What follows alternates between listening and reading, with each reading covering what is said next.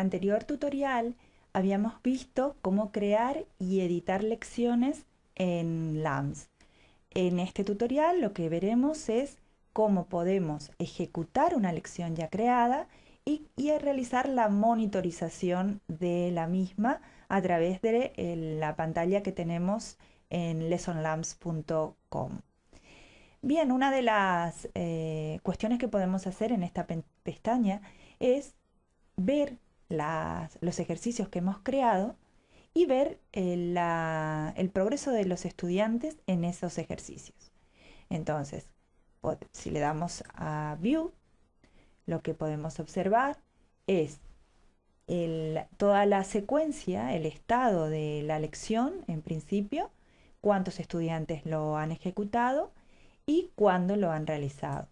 También podemos ver lo que sería la secuencia de las actividades y podemos ver en esto quiénes han eh, cumplido y en qué estado está cada uno de estos estudiantes en eh, la secuencia de aprendizaje creada en LAMS. Aquí, por ejemplo, podemos ver que han estado eh, trabajando distintos estudiantes, quién está actualmente conectado en este momento y podemos en cualquier momento pues pinchar en la actividad y ver la secuencia y cómo están.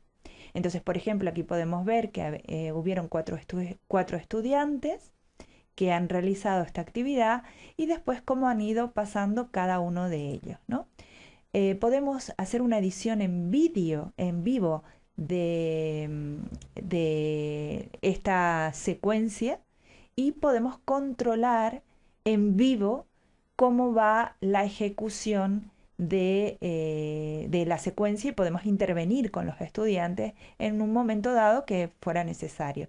Por eso muchas de las opciones que encontramos en el diseñador dicen en monitor, que sería pues en, esta eh, pantalla nosotros podríamos ir trabajando e haciendo unas intervenciones en vivo y en directo de la ejecución de las actividades.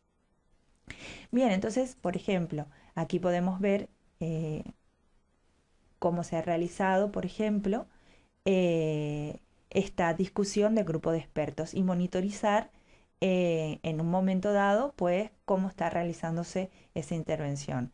En este caso, vemos cómo se han dividido los estudiantes en esos grupos de expertos. Y también podemos dar por finalizada una determinada actividad. Si yo, por ejemplo, viera cómo han trabajado en el, en el email, pues puedo también ver que estudiantes han realizado la selección de temas y sus, eh, sus eh, direcciones para ponerme en contacto también con ellos. ¿no? Bien, podemos entonces monitorizar en vivo y ver eh, en todo momento cómo están nuestros estudiantes realizando la actividad diseñada y también podemos tener una visión completa viendo cada uno de ellos cómo ha eh, realizado esta eh, actividad. Entonces, por ejemplo, vemos que un determinado, determinado alumno pues, ha realizado completamente la actividad y otros que, por ejemplo, no lo han realizado. ¿no? Entonces, por ejemplo, yo, lo, yo sé que lo he realizado y hay otros estudiantes que no lo han hecho. ¿Vale?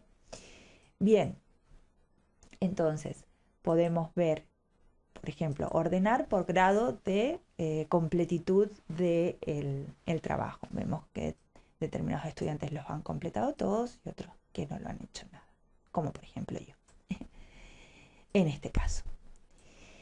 Eh, además de, de, poder monitorizar y de forma individual a cada uno de los estudiantes, también lo que podemos hacer es trabajar con un portafolio y generar un portafolio personal de cada uno de ellos. Entonces, vemos que a través de esta pestaña podemos ver eh, por cada una de las lecciones eh, creadas o secuencias, podemos analizar cómo ha ido esta secuencia de aprendizaje, intervenir en vivo y hacer un soporte en vivo en vivo y en directo de la secuencia y también ver cómo a nuestros estudiantes han eh, realizado una determinada actividad y tenerlo como una referencia de su evolución en el aprendizaje. Entonces puedo, para cada una de las prácticas, pues eh, ver todo estas cuestiones. Otra cuestión que es interesante ver es la configuración de cada secuencia. Cada secuencia o cada lección tiene un nombre, tiene una URL para acceder y tiene un código de acceso. Este código es el que necesitan nuestros estudiantes para poder acceder a esa lección. Y bien, ¿cómo se genera ese código? Pues es muy sencillo. Dentro de la ventana de creación y de edición de las eh, actividades, nosotros podemos darle a ejecutar. Y en ejecutar podemos tener dos opciones.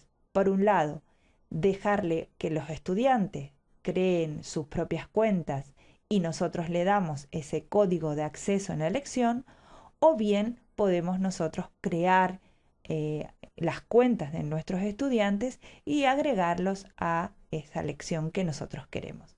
En el caso que hemos visto, hemos optado por esta primera opción.